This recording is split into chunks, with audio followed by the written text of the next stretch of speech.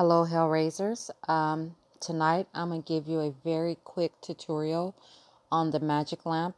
There's really not much to know about it. Um, but for this mini game, you're going to click on the little icon that says lamp. And at the bottom of it, it shows you what prizes that you can win. You can win one, two, or three at a time.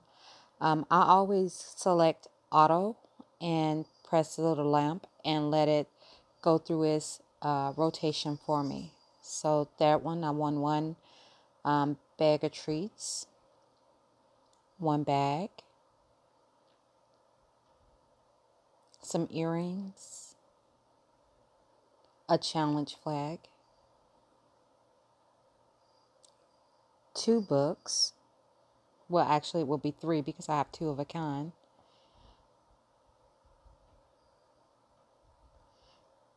Six earrings. And my last gift would be six earrings.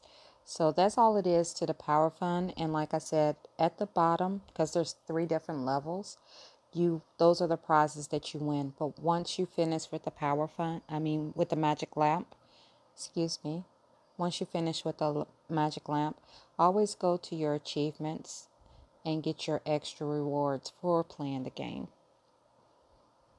If you have any questions, feel free to DM me. Thank you.